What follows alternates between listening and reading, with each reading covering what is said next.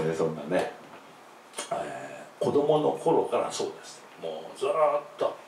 やっぱり治らないんだねこの性格ってね。で子供の頃っていうのはねあのー、ちょっと思い出したんだけどなんだろうな。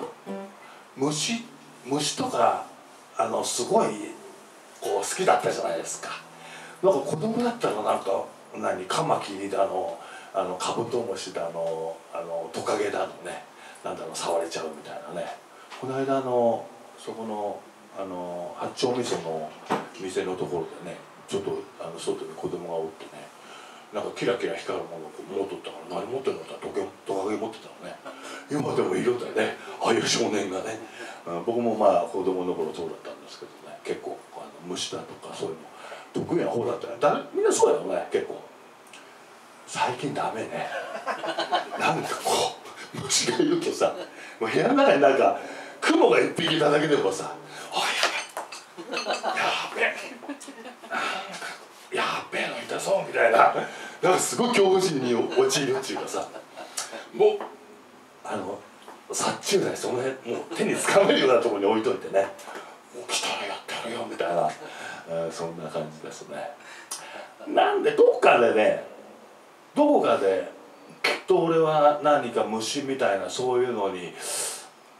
なんかどこかでなんか嫌になるきっかけがあったんじゃないかなってずっとね最近こうなんかこう昔のことずっと遡って思い出したらね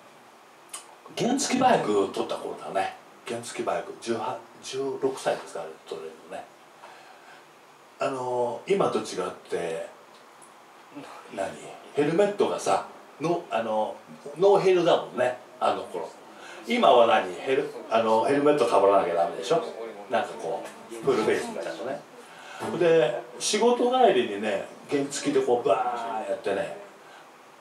あのはもうそれこそ歌が好きだったから鼻歌歌いながらね仕事終わってねこうやってバーッと走っとったのね。そしたらさブラブラブラブラブラガーがこんなでかい真っ白の子がさブルブルブルブル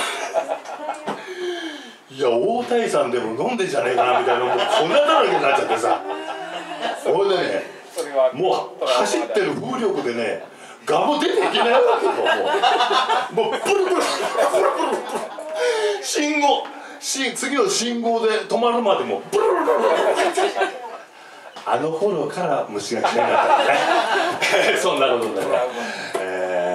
虫が嫌いな水波の歌です、えー、続けていきましょう